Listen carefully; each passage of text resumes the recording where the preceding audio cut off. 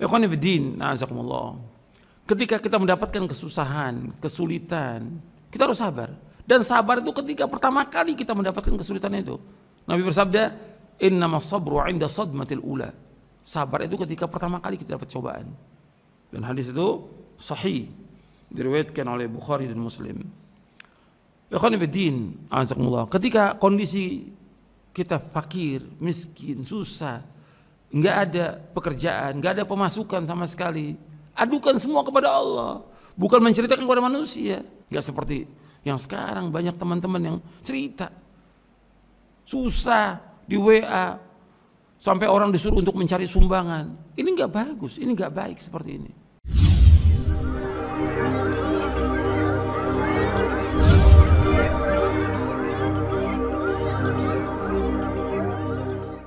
Assalamualaikum warahmatullahi wabarakatuh. Innal hamdalillah نحمده ونستعينه ونستغفره ونعوذ بالله من شرور أنفسنا ومن سيئات أعمالنا. من يهده الله فلا مضل له ومن يضلل فلا هادي له. أشهد أن لا إله إلا الله وحده لا شريك له. واشهد ان محمدا عبده ورسوله اللهم صل وسلم وبارك على نبينا محمد wa ala alihi wa sahbihi ajma'in. Ikhwan Fiddin, azakumullah kepada seluruh kaum muslimin dan muslimat yang mudah-mudahan dirahmati oleh Allah Taala. Kita akan bahas dalam kesempatan ini tentang hukum minta-minta dalam Islam. Terkadang ketika kita mengalami kesulitan, kesusahan, atau seperti kondisi yang ada wabah yang ada sekarang ini yang orang tidak ada pemasukan karena di rumah saja atau kondisi dia fakir miskin. Nah, ada orang yang kemudian minta-minta mengadukan tentang kesusahan dirinya kepada manusia yang harus kita ingat bahwa kondisi yang ada yang Allah takdirkan buat kita ini Allah yang berbuat Allah yang takdirkan Allah Maha tahu. Sekarang bagaimana? Menurut Islam, Islam menyuruh kita untuk sabar dalam kondisi yang seperti ini. Kita tidak boleh iri kepada orang-orang yang kaya, tidak boleh iri kepada orang-orang yang punya, tidak boleh dengki kepada mereka.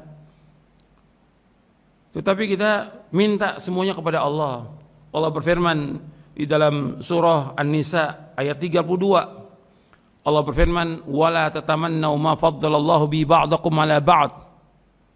Lirijal nasibu mimma iktasabu wa lin-nisa'i nasibu mimma iktasab. Was'alullah min fadlih, innallaha kana bikulli syai'in alima. Dan janganlah kamu iri terhadap karunia yang Allah telah berikan. Janganlah kamu iri terhadap karunia yang telah dilebihkan oleh Allah kepada sebagian kamu atau sebagian yang lain. Karena bagi laki-laki ada bagian dari apa yang mereka usahakan dan bagi perempuan ada bagian dari apa yang mereka usahakan. Mohonlah kepada Allah, was'alullah min fadli. Mintalah kepada Allah. Minta karunia kepada Allah. Innallaha kana bikulli syai'in alima. Sesungguhnya Allah itu Maha mengetahui atas segala sesuatu. Jadi Allah tahu tentang kondisi kita, Allah tahu tentang keadaan kita, Allah tahu. Tapi kita tidak dibenarkan untuk minta-minta kepada manusia dan dilarang oleh Rasulullah Shallallahu Alaihi Wasallam. Untuk perhatikan Nabi pernah membaiat para sahabat. Nabi membaiat para sahabat dan waktu itu Nabi masih sulit susah. Setelah membaiat untuk mentauhidkan Allah, menjauhkan syirik, tidak boleh berbuat dosa dan maksiat, tidak berzina dan segala macam, di antara Nabi mengambil bait para sahabat, la tas'alunna la tas'alunan nasa syai'a. Jangan kalian minta sesuatu kepada manusia. Ini baiat Nabi sesama kepada para sahabat. Ini kondisi mereka kondisi susah, sulit, miskin, fakir. Tapi Nabi ingatkan jangan kalian minta kepada manusia. Dan Nabi juga bersabda dalam hadis yang sahih Nabi bersabda may yakful li ala yas'alan nasa syai'a wa atakaffal lahu bil jannah faqala thauban ana fakana la yas'alu ahadan syai'a Nabi bersabda SAW, siapakah di antara kalian yang mau menjamin untukku untuk tidak minta-minta sesuatu apa pun kepada orang lain, aku akan jamin dia dengan sorga. Siapa yang mau di antara kalian menjamin untukku untuk tidak minta-minta, artinya berjanji kepada aku untuk tidak minta, aku akan jamin dia masuk sorga. Maka Thauban berkata radhiyallahu an, saya Rasulullah. Maka dia tidak pernah minta-minta sesuatu pun kepada orang lain. Hadis ini sahih dari Imam Abu Daud, Ahmad, Ibnu Majah dari sahabat Thauban. Jadi orang miskin yang sabar dan dia menandir dan minta-minta kepada manusia ini salah satu, salah satu sebab dia masuk ke dalam sorga. Dan Nabi juga bersabda SAW, Al yadul ulia khairun min al sufla. Wabda biman ta'ul wa khairu sadaqah an dhahri ghina. Wa man yasta'fif yu'ifahu Allah wa may yastaghni yughnihillahu. Tangan yang di atas lebih baik daripada tangan yang di bawah. Dan mulailah dari orang yang menjadi tanggunganmu. Dan sebaik-baik sedekah adalah yang dikeluarkan dari kelebihan harta yang dimilikinya. Barang siapa yang menjaga kehormatan dirinya, maka Allah akan menjaganya. Dan barang siapa yang merasa cukup, maka Allah akan memberikan kecukupan kepadanya. Hadis ini sahih diriwayatkan oleh Imam Bukhari, Ahmad, Tabrani dalam Mu'jamul Kabir, Al-Qudai dalam Musnad, Musnad Ash-Shihab dan Baihaqi dari sahabat Hakim bin Hizam. Dan Muslim juga meriwayatkan dari sahabat Abu Sa'id Al-Khudri radhiyallahu an. Jadi disuruh kita untuk merasa cukup. Cukup. Di akhir hadis ini Nabi suruh kita cukup. Wa may yasta'fif yu'ifallah. Barang siapa yang merasa cukup menahan dirinya, kehormatan diri, enggak minta-minta, maka Allah akan cukupi dia. Wa may yastaghni yughnina. Yang merasa apa yang merasa Barang siapa yang menjaga kehormatan dirinya Allah akan jaga. Barang siapa yang merasa cukup Allah akan cukupi dia. Ikhwanifidin, na'azakumullah. Ketika kita mendapatkan kesusahan, kesulitan, kita harus sabar. Dan sabar itu ketika pertama kali kita mendapatkan kesulitan itu. Nabi bersabda, Innama sabru inda sadmatil ula. Sabar itu ketika pertama kali kita dapat cobaan. Dan hadis itu sahih. Diriwayatkan oleh Bukhari dan Muslim. Ikhwanifiddin, azakumullah. Ketika kondisi kita fakir, miskin, susah, nggak ada pekerjaan, nggak ada pemasukan sama sekali, adukan semua kepada Allah, bukan menceritakan kepada manusia. Sekarang banyak orang-orang yang menceritakan susahnya kepada manusia. Ketika dia senang, ketika dapat uang, dia nggak cerita. Tapi ketika susah, semua orang tahu. Tetangganya tahu, temannya tahu, bahkan orang yang jauh tahu. Dengan apa? Ya dia kirimi surat, di SMS, dia WA, dia cerita saya susah.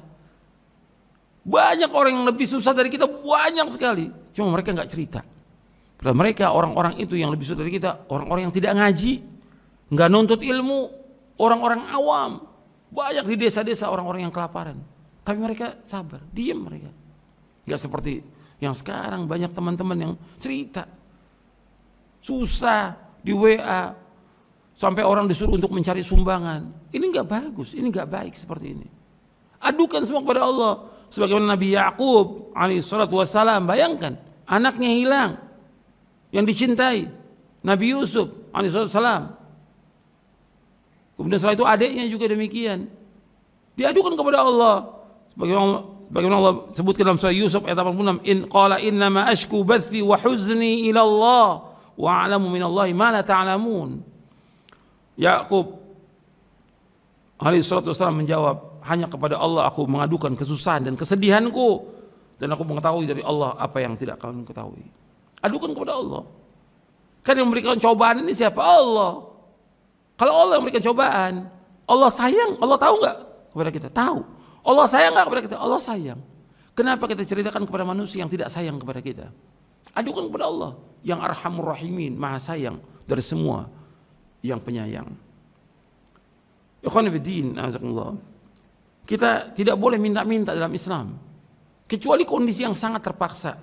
Nabi SAW menyebutkan dari Qabisa bin Mukhariq Al-Hilali radhiyallahu an ia berkata Rasulullah bersabda Ya Qabisa innal mas'alata la tahilu illa li hadis thalathatin rajulin tahammala hamalatan fahallat lahu al-mas'alatu hatta yusibaha thumma yumsik wa rajulin asabathu ja'ihatun ijtahat malahu fahalat lahul mas'alatu hatta yusiba qiwaman min 'aishin aw qala sidadan min 'aishin wa rajulin asabatu faqatun hatta yaquma thalathatun min dhawil hija min qaumihi laqad asabat fulanan faqatun fahalat lahul mas'alatu hatta yusiba qiwaman min 'aishin aw qala sidadan min 'aishin fama siwahunna minal mas'alati qabisatu suhtan ya'kulu sahibuha suhtan kata Rasulullah SAW wahai qabisah sesungguhnya meminta-minta itu tidak halal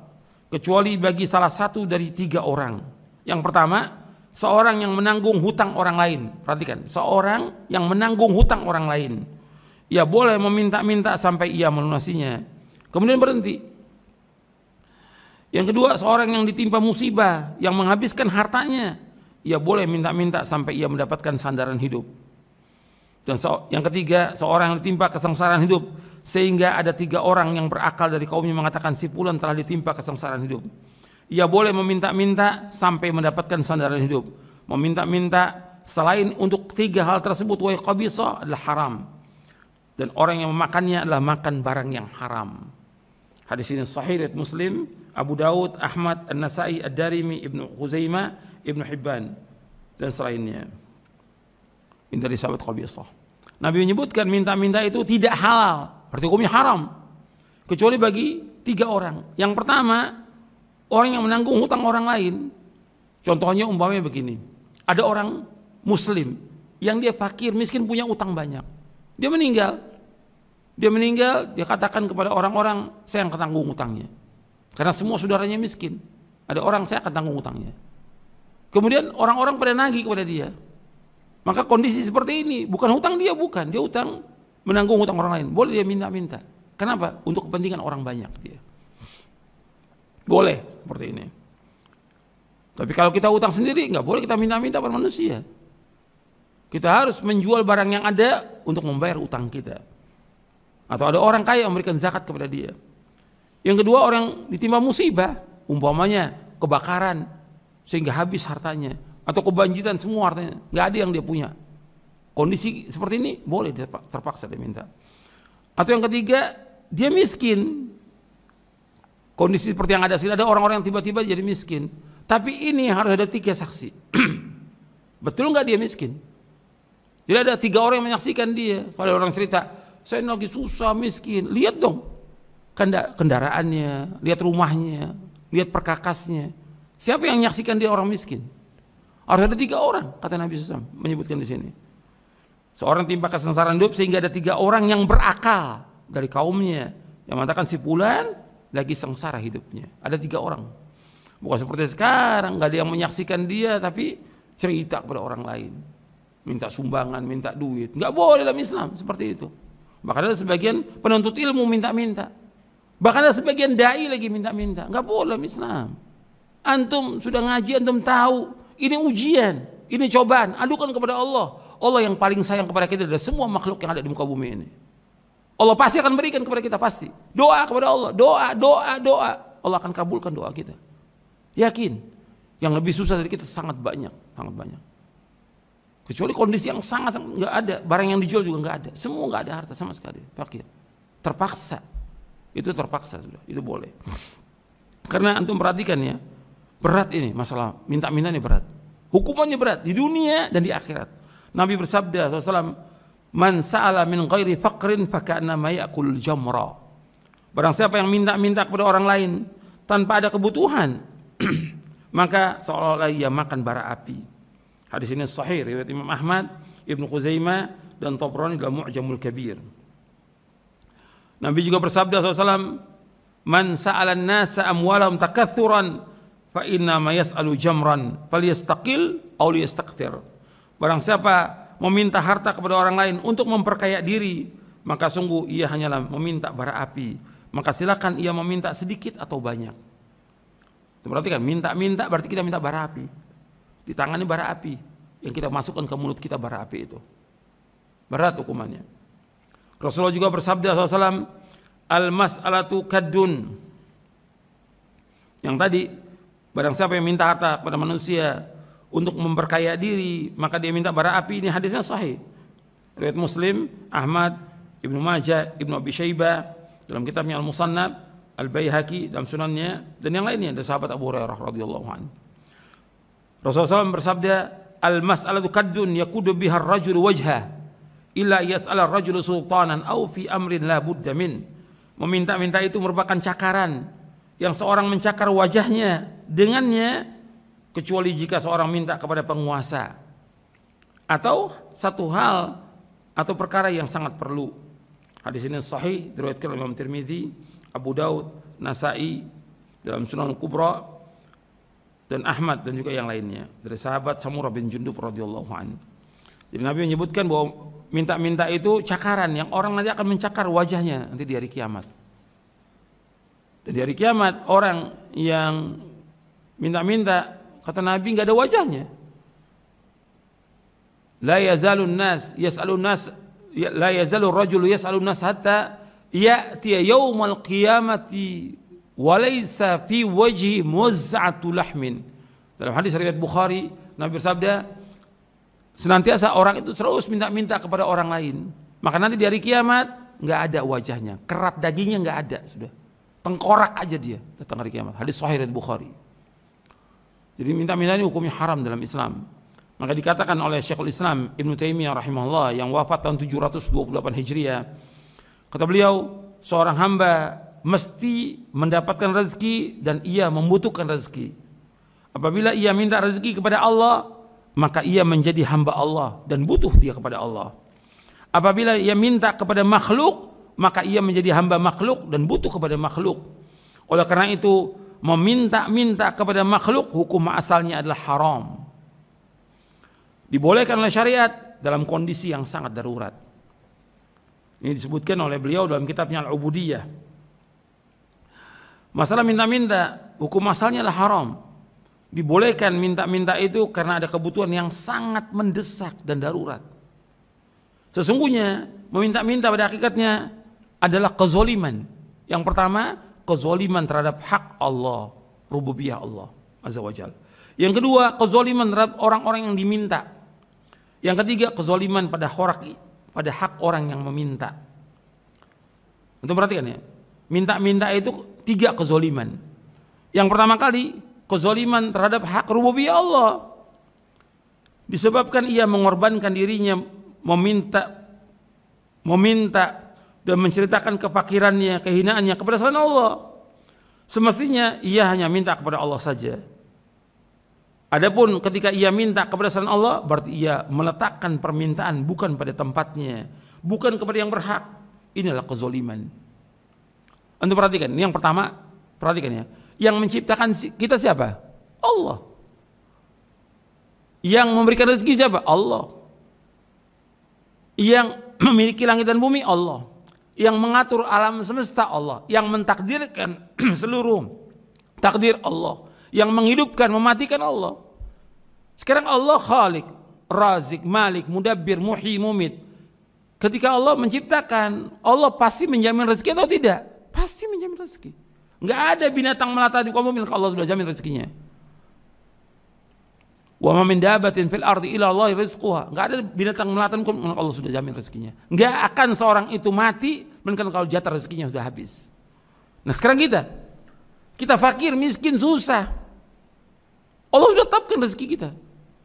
Maka kita minta kepada Allah. Karena Allah yang khalik yang menciptakan kita, Allah juga razik yang memberikan rezeki. Ketika dia minta kepada selain Allah, minta kepada makhluk, berarti dia meletakkan sesuatu bukan pada tempatnya. Ini zalim atau bukan? Zalim. Mesti diminta kepada siapa? Kepada Allah. Kan Allah berfirman, "Was'alullah min fadli." Minta kepada Allah. Dan Nabi SAW mengajarkan kepada sahabat Ibnu Abbas, masih remaja Ibnu Abbas, "Idza sa'alta fas'alillah wa idza sta'anta fas'al billah." Apabila kau minta-minta kepada Allah, apabila kau minta tolong, minta tolong hanya kepada Allah saja. Minta kepada Allah. Enggak boleh minta kepada manusia. Nabi sudah membaiat para sahabat tidak boleh minta kepada manusia. Jadi ini ketika dia minta-minta kepada manusia, berarti dia telah berbuat zolim terhadap siapa? Terhadap rububiyahnya Allah. Bayangin. Berarti tauhid ini nggak beres ini. Orang jahiliyah aja mengakui tentang rububiyah Allah. Orang jahiliyah. Kita orang beriman, mestinya kita lebih mengakui tentang rububiyahnya Allah. Allah Khalik, Allah Razik. Kita lagi diuji sekarang oleh Allah.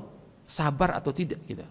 Yang kedua, yaitu zolim kepada orang yang diminta. Kezoliman kepada orang minta, ia minta kepada orang yang kekayaannya tidak ada padanya. Dia menyusahkan orang lain untuk menaikkan apa yang dia minta. Dan jika ia berikan, ia beri dengan rasa tidak senang dan benci. Orang kaya nih, sekaya-kaya manusia, kita datang kepada dia minta, mesti nggak senang dia. Nggak ada orang kaya diminta kemudian dia senang. Nggak ada orang kita datang kepada orang kaya, ahlan wa sahlan, mau minta apa? Nggak ada, nggak ada. Mesti tampangnya udah nggak enak, udah orang minta. Itu semua orang kaya.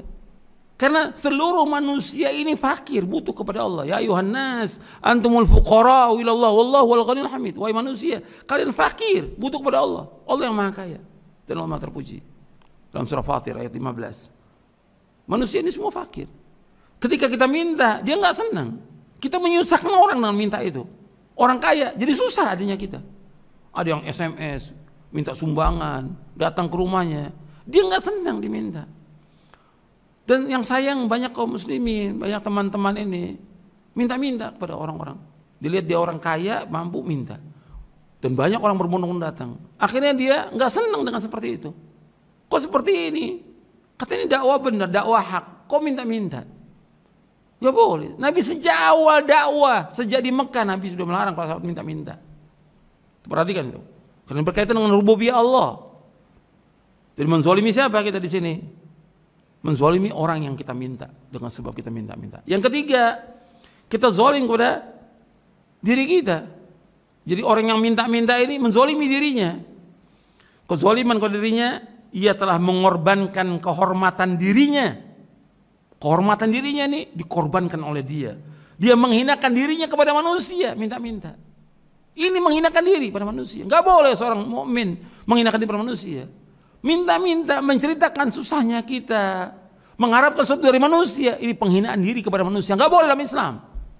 Kita menghinakan diri kita hanya kepada Allah. Itulah ibadah. Ghayatul dhulli ma ghayatul hubb. Puncak kehinaan itu dan puncak kecintaan hanya kepada Allah. Itu yang dikatakan ibadah. Bukan kepada manusia. Enggak boleh kita menghinakan diri minta-minta pada manusia. Enggak boleh dalam Islam. Dia dia menurunkan diri derajat dirinya. Yang Allah jadikan dia sebagai khalifah di muka bumi. Sempurna. Dia merendahkan dengan kedudukan yang paling hina paling rendah dengan minta-minta. Dia telah menjual dirinya dengan cara minta-minta. Dia telah menjual kesabarannya.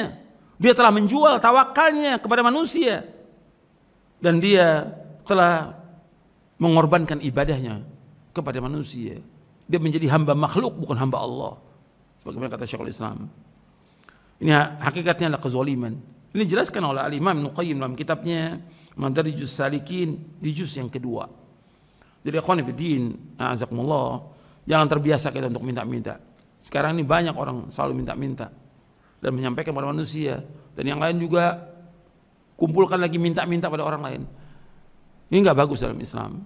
Kita justru mengadukan kepada Allah kalau tahun tolong menolong dianjurkan dalam Islam. Wa ta'awanu 'alal birri wat taqwa wa la ta'awanu 'alal itsmi wal 'udwan. Hendakkan tolong menolong perbuatan baik dan takwa. Jangan kalian tolong menolong, tolong menolong perbuatan dosa dan permusuhan. Tolong menolong bagus. Tapi kita lihat siapa yang berhak untuk kita kita bantu. Orang kaya wajib untuk membantu orang miskin. Wajib dia untuk bersedekah. Tapi kita jangan minta-minta. Sekarang kalau kondisi kita orang kaya enggak ada yang tahu. Orang mampu yang tahu Allah tahu apa tidak? Allah kan tahu. Minta kepada Allah. Jangan mengharapkan sesuatu dari manusia. Minta kepada Allah. Itu yang Nabi ajarkan kepada Ibnu Abbas. Idza sa'alta fas'alillah wa idza sa'anta fas'alillah. Bila engkau minta, mintanya kepada Allah. Bila engkau minta tolong, minta tolong. Maka ayat Al-Qur'an, Anda perhatikan ini. Ayat Al-Qur'an di antara inti Al-Qur'an semuanya intinya ada surah Al-Fatihah. Surah Al-Fatihah intinya iyyaka na'budu wa iyyaka nasta'in. Hanya kepada engkau saja ya Allah aku beribadah. Hanya kepada engkau saja ya Allah aku minta tolong. Minta tolong kepada Allah ketika kita susah. Bukan cerita kepada manusia, bukan mengadu kepada manusia, bukan merengek-rengek nangis kepada manusia cerita. Ya nggak boleh Islam. Jangan menghinakan diri pada manusia. Kita ini punya izzah, punya kehormatan.